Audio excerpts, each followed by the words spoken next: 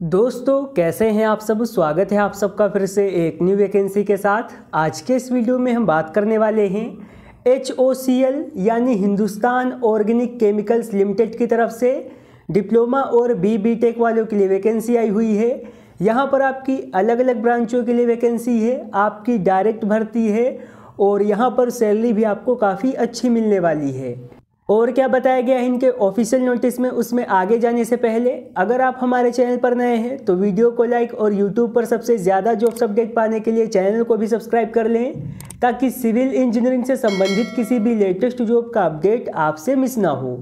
और आप premium type jobs के लिए हमारे टेलीग्राम चैनल और व्हाट्सअप ग्रुप को ज़रूर ज्वाइन कर लें।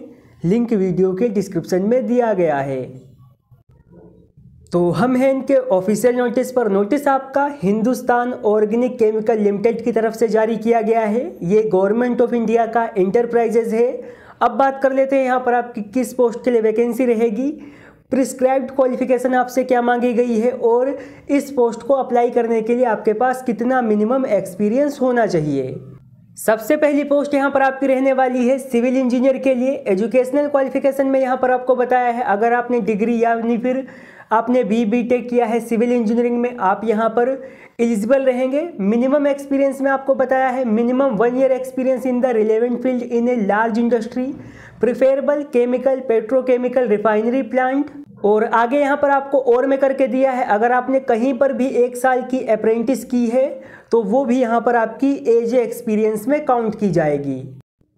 तो जिन भी दोस्तों ने हमारे बी बी टेक किया है सिविल इंजीनियरिंग से, और मिनिमम आपके पास एक साल का वर्क एक्सपीरियंस है, या फिर आपने कहीं पर भी एक साल की अप्रेंटिस की है, आप इसके लिए इंटरेस्टेड होते हैं एलिजिबल होते हैं तो आप यहाँ पर अप्लाई कर सकते हैं। अगली पोस्ट यहाँ पर आपकी रहने वाली है जूनियर ऑपरेटर प्रोसेस के लिए। यहाँ पर आपसे डिप्लोमा मांगा गया है। अगर आपने डिप्लोमा किया है केमिकल या फिर पेट्रोकेमिकल इंजीनियरिंग में, एलिजिबिलिटी क्राइटेरिया यहाँ पर भी आपका सेम है। अगर आपके पास एक साल का वर्क एक्सपीरियंस है या फिर आपने एक साल की कहीं पर भी अप्रेंटिस की है, आप यहाँ पर एलिजिबल रहेंगे।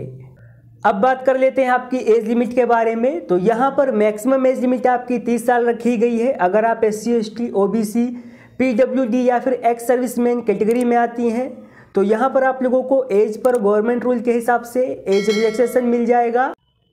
अब बात कर लेते हैं आपके कॉन्ट्रैक्ट पीरियड की। तो बेसिकली पोस्ट है, यहाँ पर आपकी कॉन्ट्रैक्ट बेस पर रहने वाली है। ये कॉन्ट्रैक्ट आपका दो साल तक का रहेगा। बाकी आपकी जैसी भी परफॉर्मेंस होगी या इनके पास रिक्वायरमेंट होगी, उसके हिसाब से इसे आगे एक्सटेंड किया जाएगा। अब बात कर लेते हैं आपके पे लेवल के बारे में।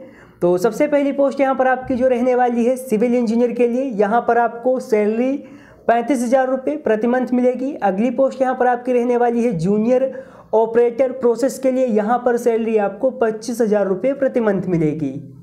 अब बात कर लेते हैं आपके सिलेक्शन प्रोसेस के बारे में। तो सिलेक्शन प्रोसेस यहाँ पर आपका इंटरव्यू या फिर रिटर्न टेस्ट के आधार पर होगा। यहाँ पर आपको इम्पोर्टेंट डेट में बताया है।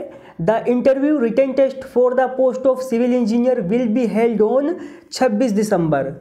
और दूसरी पोस्ट यहाँ पर आपकी जो रहने वाली है जूनियर ऑपरेटर प्रोसेस के लिए, यहाँ पर बिल्कुल कन्फर्म है कि आपका सिलेक्शन प्रोसेस रिटर्न टेस्ट के आधार पर ही रहेगा। इसके लिए आपको करना क्या है? आपको जाना है हमारे टेलीग्राम चैनल पर। वहाँ पर आपको इस ऑफिशियल पीडीएफ का लिंक मिल जाएगा। आप इसे डाउनलोड कर लीजिए। देख सकते हैं, यहाँ पर है आपका एप्लीकेशन फॉर्म सबसे पहले यहाँ पर आपको अपने फ़ोटो लगाने हैं। नेक्स्ट यहाँ पर आपको लिखना है कि आप किस पोस्ट के लिए यहाँ पर अप्लाई कर रहे हैं। फिर आपको यहाँ पर अपना नाम लिखना है। नेक्स्ट यहाँ पर आपको डीओबी लिखनी है और आपकी एज यहाँ की जो कट ऑफ़ डेट है, उसके हिसाब से आपकी एज कितनी हो रही है। जेंडर यहाँ पर आपको लिखना है। मेरिटल स्टेटस आपको यहाँ पर लिखना है। और आगे यहाँ पर आपसे आपका फादर्स नेम पूछा है। रीज रिलीजन पूछा है। कास्ट आपको यहाँ पर लिखनी है। आप किस कैटेगरी में आते हैं, ये आपको लिखना है। अगर आप एक सर्विस मैन हैं तो यहाँ पर आप यस या फिर नो कर सकते हैं। और आगे यहाँ पर आपको अपना परमानेंट एड्रेस लिखना है। नेक्स्ट यहाँ पर आपका, आपको अपना प्रेजेंट एड्रेस लिखना है विद पिन नंबर के। नेक्स्ट यहाँ पर आपसे आपके कॉन्टैक्ट डिटेल पूछे गए हैं। Office residence mobile number next यहाँ पर आपको अपनी ईमेल आईडी लिखनी है।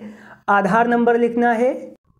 यहाँ पर आपसे आपकी एजुकेशनल क्वालिफिकेशन के बारे में जानकारी मांगी गई है। कोर्स आपका कौन सा है? आप किस स्कूल या कॉलेज या इंस्टीट्यूट के पास आउट है आपकी यूनिवर्सिटी या बोर्ड कौन सा है आप किस ईयर के पास आउट है मेन सब्जेक्ट आपके कौन से हैं और आपके बी बी टेक में आपका ग्रेड डिवीज़न या परसेंटेज ऑफ़ मार्क कितना है? नेक्स्ट यहाँ पर आपसे आपके एक्सपीरियंस के बारे में पूछा गया है ना, नाम आपको लिखना है और एड्रेस लिखना है उस ऑर्गेनाइजेशन का जहाँ पर आपने काम किया है। आपको यहाँ पर डेजिनेशन लिखनी है कि आपने वहाँ पर किस पोस्ट पर काम किया है, कब से कब तक काम किया है, एरिया आपको यहाँ पर लिखना है। नेक्स्ट यहाँ पर आपको वहाँ पर कितनी सैलरी मिलती थी, ये चीज़ आपको यहाँ पर लिखनी है।